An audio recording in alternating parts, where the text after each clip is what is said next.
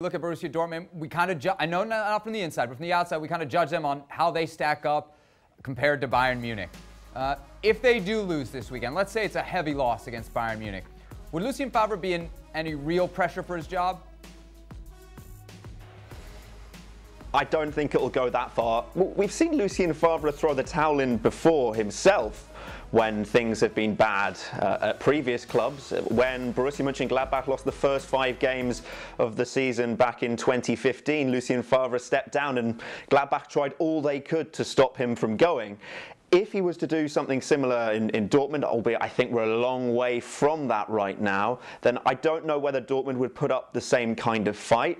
His contract is up at the end of the season, and I would say that there's very lukewarm interest from, from Dortmund on, on renewing that. If you want to keep your coach, you're going to sign him up for another year. You're not going to let his contract run into that final year of the deal. So I think that Lucien Favre has done an okay to good job with, with, Dortmund. We've seen before how with Peter Bosz and with Peter Stöger that th- this is not an easy job to, to find the right balance for. And Dortmund are have consolidated their place as Germany's second power.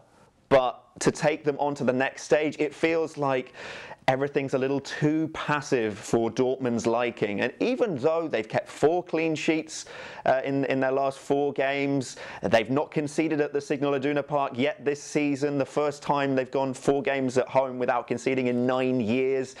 There's just something, it feels like there's lacking in terms of the amount of players that they have with quality going forward and the amount of entertainment that that's providing.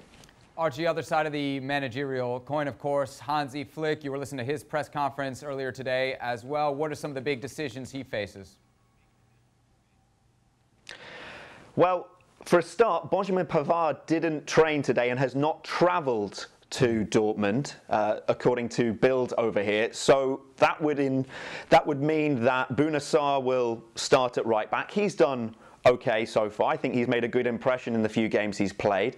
But the real decision uh, that I think he's got to make is which of his wingers does he leave out? Will it be Serge Gnabry, Leroy Sané, or Kingsley Coman? And I would say that given the noises he's made about Leroy Sané, I can see him opting for Kingsley Coman and Serge Gnabry. I think Leroy Sané is still finding his way into this this Bayern side, and still finding his way in pretty well. If you saw the goal he scored from distance against uh, against Eintracht Frankfurt the other week, you could hear the Eintracht Frankfurt goalkeeper Kevin Trapp saying he's going onto his left foot. He's going onto his left foot, and still he slams it in from 20 yards. But I think that what with the way that Coman's performed in big games recently, and also the, the, the, the same has to go for Gnabry, I think that that will give them the edge in in in that respect.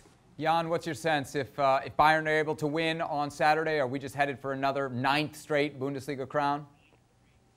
Well, everybody will tip that Bayern will win win, the, uh, win this league as well. But what I think is quite interesting this season is that RB Leipzig maybe they will be up there some somewhere. Gladbach could be up there somewhere. And Dortmund, of course, being the main challenger. The, the, the problem in Germany is that the, the the hardest opposition, the Gegner, which I say in, in German, is Bayern himself. I mean, what can be the trouble at Bayern? Could be a coach who's not up for it or doing funny things that the big management and the, the Muppet show around them when they are bad could influence their game. But now with Hansi Flick, you seem that you you have a personality, you have a former player, you have a good leader. I mean, everything he, he does, it seems so right. I mean, if he leaves one player out, he will come on. And Archie said, I mean, Sané came on and you thought Robben was back in business. I mean, exactly the same goal. So, so I think the only one who could stop Bayern this year as well is Bayern themselves. They've played many games this season. It's intense. They have to find the right balance, how they use their player. Could the Alaba story with, with him not signing the contract be a, be a big problem?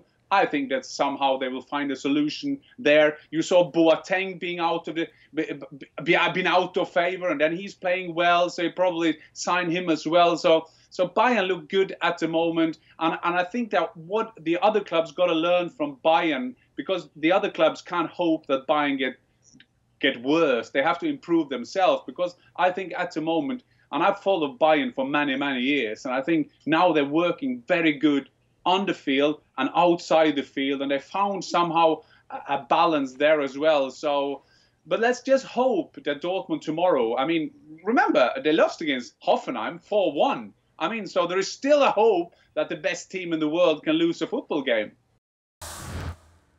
Well, thank you very much for watching ESPN on YouTube. For more sports highlights and analysis, be sure to download the ESPN app. And for live streaming, premium content, and let's not forget as well, ESPN FC seven days a week. Subscribe to ESPN Plus.